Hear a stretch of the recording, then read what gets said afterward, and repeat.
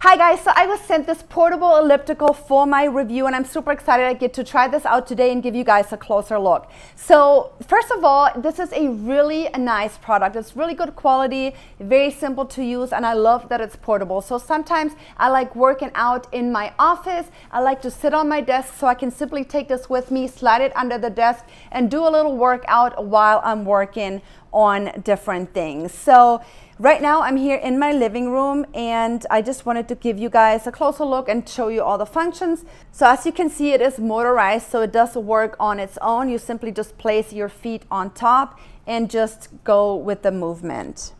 It also does come with a little remote, which I find super helpful. Now you are required to add a little battery right here in the back, but let me bring you closer and show you guys the display. Here's a closer look of the product. As you can see, it works really nicely on its own. Simply just plug it into the outlet and it is ready to go. Right here is where you turn it on or off, this button right here.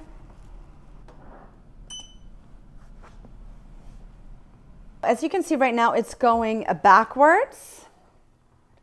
This button in the middle right here changes the direction. So if I push this, it'll start going forward. And then the button on the left here is for the speed. So if you push this a couple times, you can increase the speed. Put it on the highest. I think the 9 is the highest. Yes, the 9 was the highest. So if you keep pushing it, it'll go back down. Bring it back up to 9 so you can see the fastest option. So this is the fastest option right here also really like that the device is super quiet because I do live in a community. I do have neighbors above me and below me, so I definitely appreciate that. And then to turn off the device again, simply push this button and there you go. Super simple to use.